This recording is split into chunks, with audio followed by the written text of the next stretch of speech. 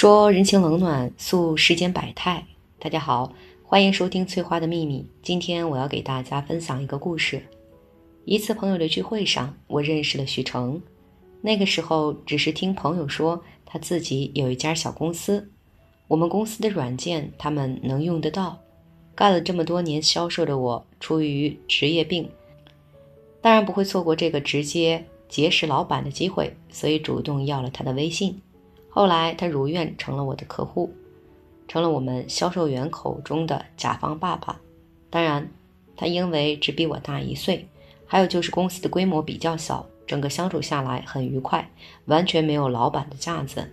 偶尔我们会微信聊聊工作中的有趣的事情，遇到不开心时，他也会像哥哥一样的开导我。久而久之，我对这个只比我大一岁的大男孩产生了依赖。他身上有成熟男人的魅力，也有小孩子气的可爱。这种能独当一面又不失幽默的男人是我喜欢的类型。他应该也比较喜欢我这种性格吧？我是属于那种大大咧咧，有什么就说什么的那种。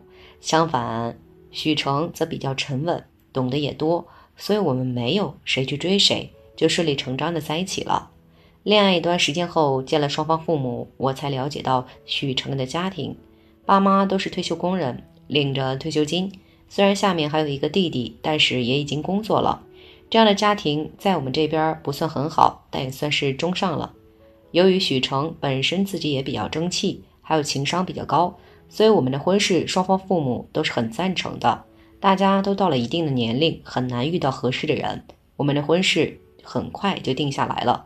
只是在商量婚礼的时候，许成的意思是我们婚后就住在那个一室一厅的小公寓里，那是他婚前买的，暂时先不考虑换房子。当时我是有些不开心的，因为以他的经济条件，我很清楚，当时买两套两室的都不是问题，他却执意要我们在那个一室的小公寓里结婚，还是二手的。但是他给我的回复是。现在市场越来越难做，钱不好挣，我们应该留点流动资金。还有就是小叔子，他小一岁，也该谈婚论嫁了，婚房还没有，他想补贴一点，不会太多，就几万块。这样的话，父母可以轻松一点。我听了觉得还是蛮有道理的。一方面觉得许成有远见，一方面觉得他知道珍惜手足情，孝顺父母，以后肯定也是个好丈夫。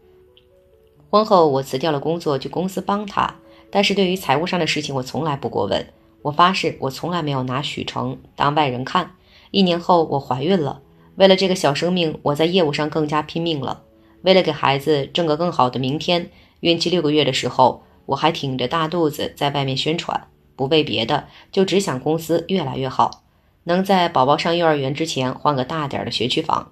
近两年，我们这个地方因为升级。为县级市，房价涨得很厉害，别人条件没我们好的都早早买了房子，我们总不能指着这个一室一厅一直过吧？熬过十月怀胎，我总算顺利生产了，婆婆也主动来照顾我。那个时候，一室一厅显得更加拥挤了，第一次换房子的念头更加的强烈。但是不尽人意的是，那个时候我妈妈查出了癌症，我妹妹还在上学，作为长女，我不能袖手旁观吧？就把手上所有的钱都拿去给我妈看病了。许成当时给我说的是，公司也是勉强维持生计了，所以拿不出来一分钱给我妈看病。没多长时间，我妈就去世了。我也不怪她，因为我了解自己做事业的难处，还有我妈妈的病情也确实是无力回天。宝宝一岁后，我给了婆婆带，又回到了公司开始努力奋斗。三年后，我又怀孕了，这次是意外，本来是考虑要不要的，但我是个相信缘分的人。自己的孩子实在是舍不得打掉。随着宝宝的出生，即使大宝一直都跟公婆住，但是这个房子还是显得很拥挤。这三年，经过我们的努力，公司也好一些了，生活也步入了正轨，所以我们开始啊筹备换房子了。这一次不管怎么说，也要把房子换了，然后把大宝接到身边来。后半年就要上幼儿园了，妈妈不在肯定不行的。现在公司稳定，所以不需要我操太多心。我一直都觉得公婆给小叔子买了婚房是拿不出钱的，所以我从内心深处啊是没有指望公婆的。他们给我带孩子，我已经感激不尽了。买房子还差二十万，我选择了贷款，然后分期还。但是就在我们准备第二天填合同的时候，公婆找上门了，提了一袋子钱给我们，说是要给我们买房子的，十八万现金。我当时有些傻。婆婆给许成说：“你帮你弟弟全款买了那套房子，现在你们还住在这么小的房间里，爸妈心里实在是过意不去。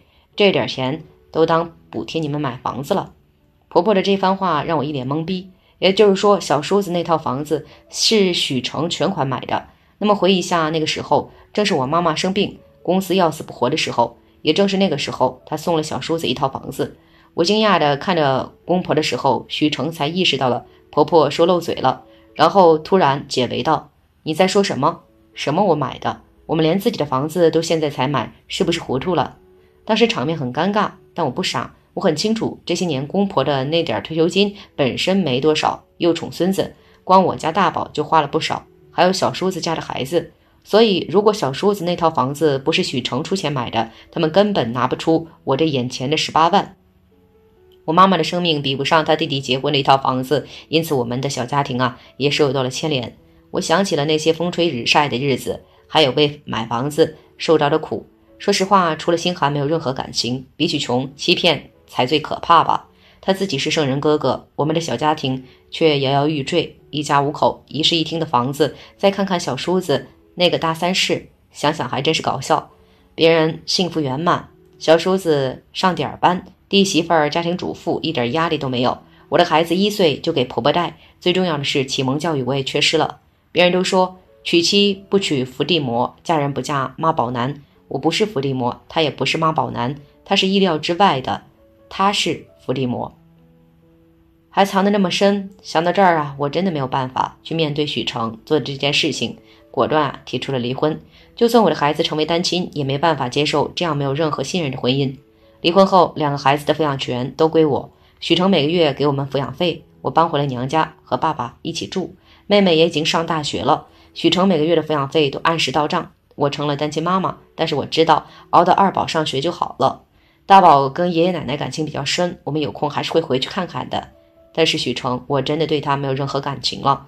我从来不看公司的账面，也不过问家里的钱。他说缺钱，我就想办法补，拼命做业绩，这是何等的信任！但他辜负了我的信任。我觉得婚姻这件事儿啊，欺骗便是死罪。你们觉得呢？好了，今天的故事呢就到这儿了。如果你有喜欢的故事，记得在视频下方留言，我们会尽力满足您的需求。期待下次与您的分享。